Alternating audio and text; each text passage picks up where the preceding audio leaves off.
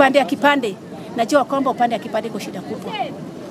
Mara ya kwanza kwa nchi hii, hata kidole ya baba na mama takiana kwa hiyo form ilienda Nairobi na ikarudishwa hapa, na hiyo mambo hatujapitisha hata kwa bunge. Hiyo ni shida kubwa.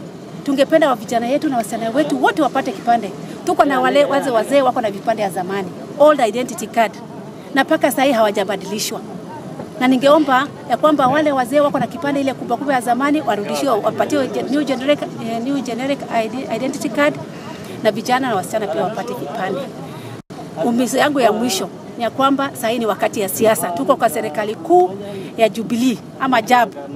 Sisi tunataka kukaa ndani ya JAB, tunataka kiongozi yetu na president yetu akuwe Uhuru Kenyatta, kwa sababu wakati wake saa hii sisi wote tunajivunia. Uh, kwa pande ya kipande najua slow pro, eh, vetting process hiyo pia ina affect mambo mingi. Huwezi kuambia watu wakuwe slow alafu wanaambia kwamba wakate kura, watakata kura na nini? Kwa hivyo tunaomba serikali wa fast track mambo ya vetting process especially watoto wa upande hii. Sisi tunataka hiyo kura kukata haraka, kwa hivyo vetting process ifanywe rahisi kwa wale wanajulikana ni wana Kenya. Tunajua wale wa nje hatujui, lakini hapa tunajua kwamba sisi 100% hatujawahi kupatana na mambo ya Alshabab hapa, terrorism hatujawahi kupatana. Sisi ni raia wema wa Borana, wanajulikana kukua watu watifu, watu wazuri, hatujawahi kuleta msuko msuko hata yeyote, kwa hivyo